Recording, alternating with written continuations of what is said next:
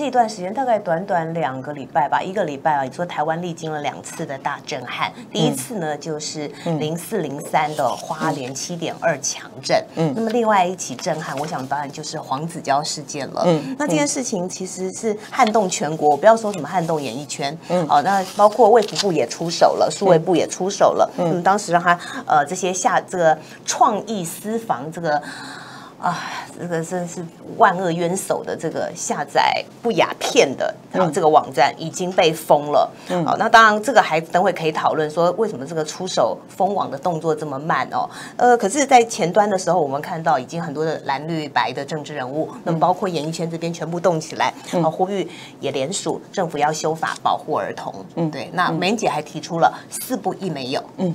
我想，因为法不是我们可以处理的，对对不对？哈，包含这个修法跟执行，用这个法来执行，那个是。呃，立法单位跟行政单位，对。可是做我们一般的民众，我们必须要有一些啊呼吁。那这些呼吁是我们可以做得到的，对不对？哈，你就是不点阅、不不下载、不购买，对不对？不偷拍，哈。那还有就是说，有一些人有一些很迷失的，那因为这些讨论出来之后呢，大家的观念就可以再得到一次的一个呃强化跟建立。嗯，就是很多人讲说，哎，我是。我是付钱合法买到的，对不起哦，你买这个东西没有合法管道，你知道吗？对，这本身就是非法。对，所以也就是这种似是而非的这种这种错误的思维，例如这一次的这个讨论得到一些厘清，我觉得它也是有价值的。但你刚刚说的法跟执法，那真的不是我们一般人可以处理的，那个是必须要立法单位跟行政单位才能够处理的。嗯，那我的感觉就是说，我们的感受都是一样，所以我那天接受访问的时候，很激动。嗯，很好，很激动。我觉得你很激动。我已经克制了呢。嗯，我有克制。嗯嗯，因为我一直，其实这个选举也给我很大的一个呃改变，就是说，我我尽量克制我的激动了，因为很多激情或者太激动是没有办法对事情有帮助的。我对他一直压住我自己的冷静啊。嗯。好像也还好而已哈，嗯，啊，继续修炼呐，因为你知道，身为一个母亲，身为一个女性，你要想想这些孩子，他他这样子的伤，他是带着一辈子的，是啊，对不对？而且还有多少孩子是他这个是在幽暗的角落里面，他，嗯，他。他是那么的无助，而保护小孩是我们每一个大人的责任。孩子怎么会有能力保护自己，对不对？那你想想看，现在这种网络，网络它有好处，就是让大家可以连接。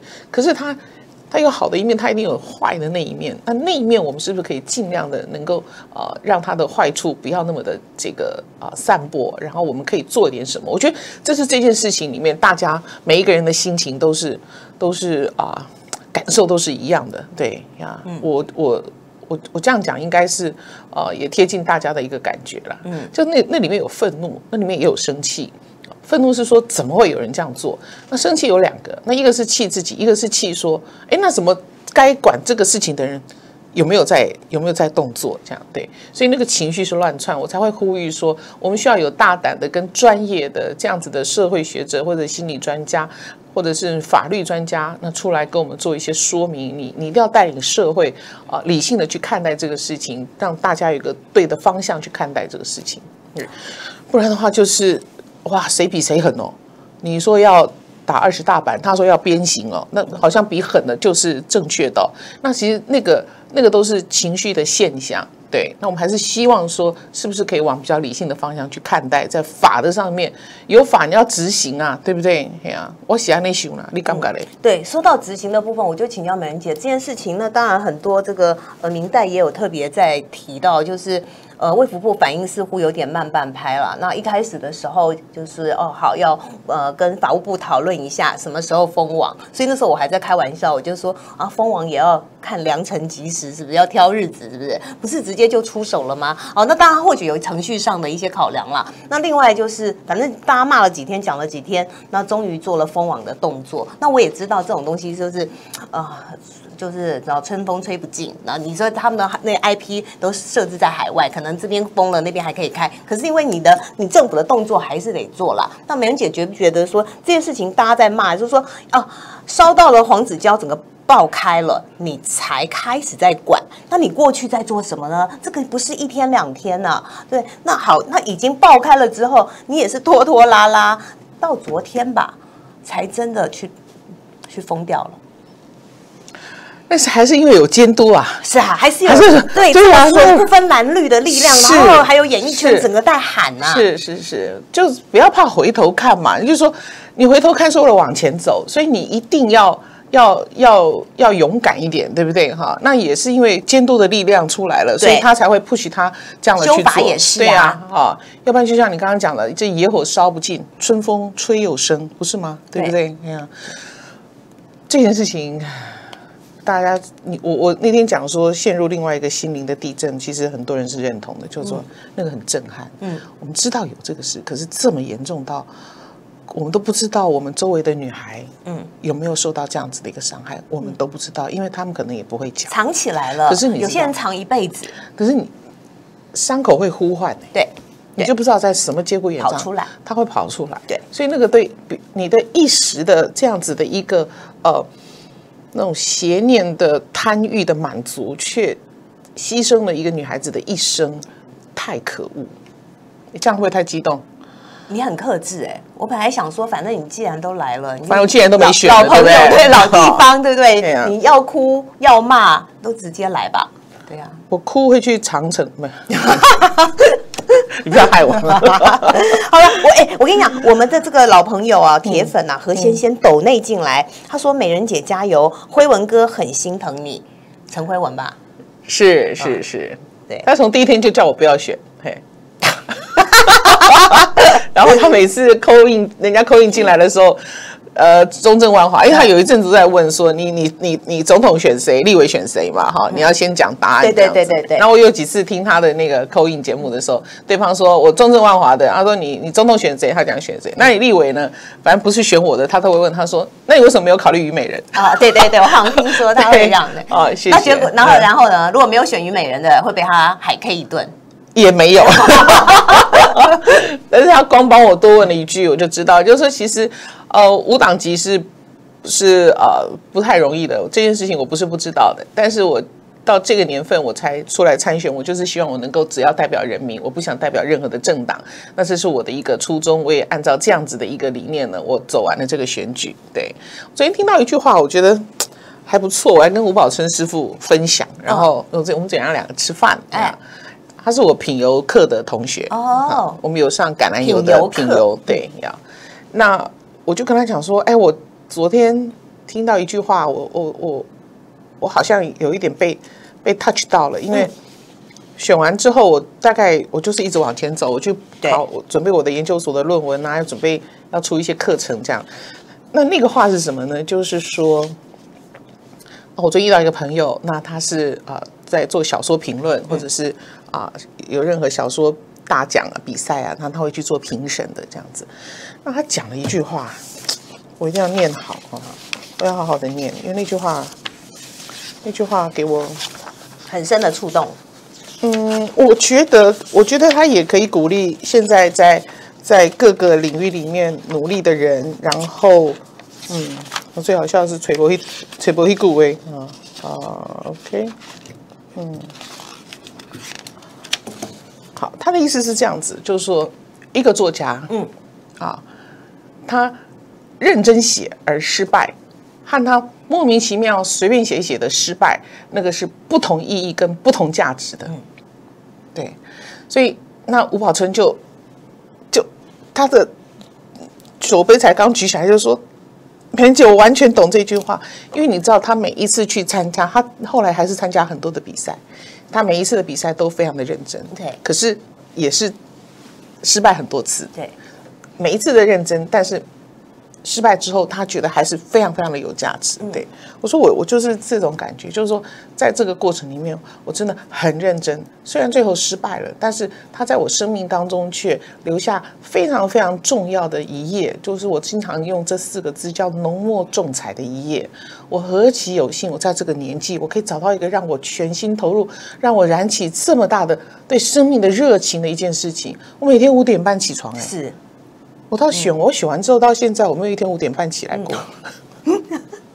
对，有时候我记得有几次，我就六点多才起来，我都还会自责啊我怎么可以这么堕落这样子的啊？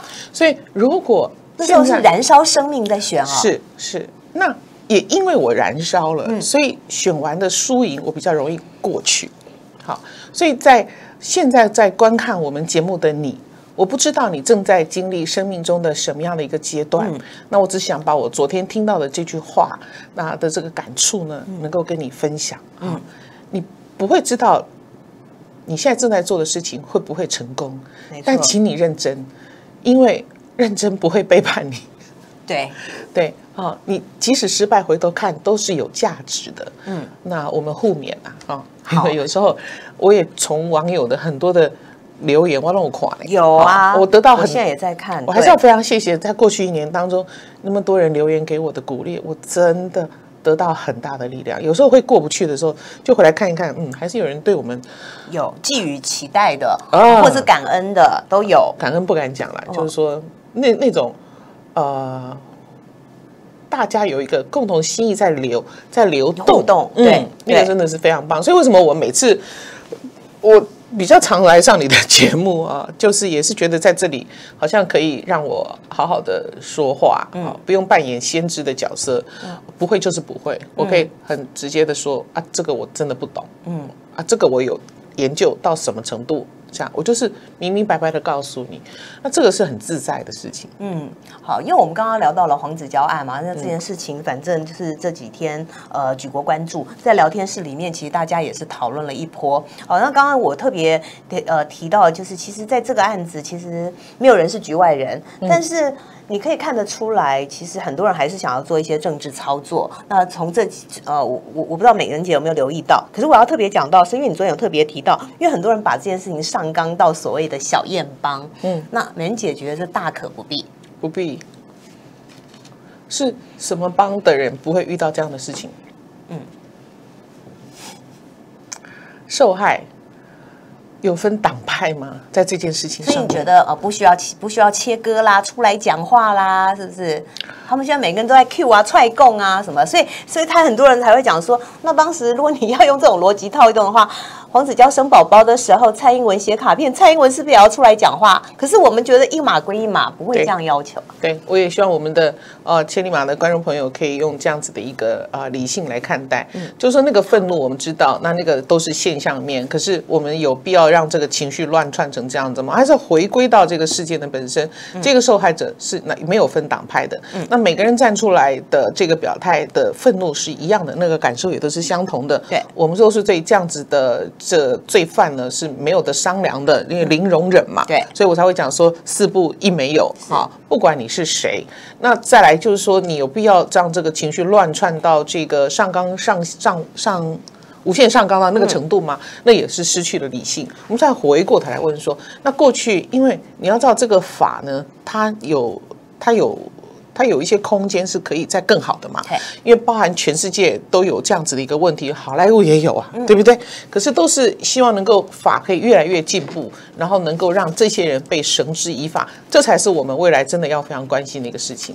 我是这样，我是这样认为啦。对啊，你在那边做政治操作，你对这些受害者来讲情何以堪呐、嗯，对不对？对啊，那你难道你们是因为你们是你们是因为政治正确才要来谴责吗？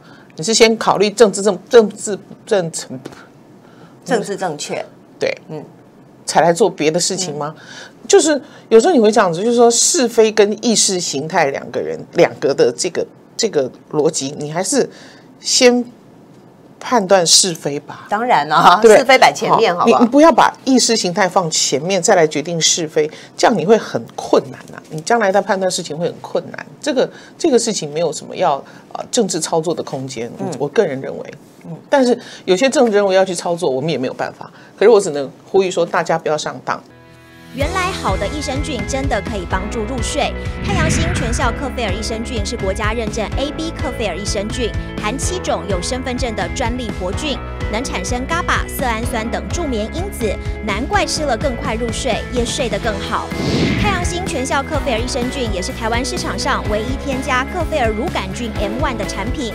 这是由台湾知名的大学季转，对季节敏感、调整体质的朋友，真的是一大福音。还有这支还添加被称为超级食物的羽衣甘蓝萃取物。不少研究都指出，十字花科蔬菜有助抗炎及防癌，像是羽衣甘蓝含有高量的叶黄素、贝塔胡萝卜素、维生素 K、维生素 C、叶酸等丰富营养素。太阳星全效克菲尔益生菌专利制成，无塑化剂、无重金属、无人工添加物、无四百一十项农药、无香料调味剂、无防腐剂、无色素，七大保证、七大认证，觉得好安心。每日克菲尔时刻美好，Good Feel Feel Good，快点购下单！太阳星全效克菲尔益生菌。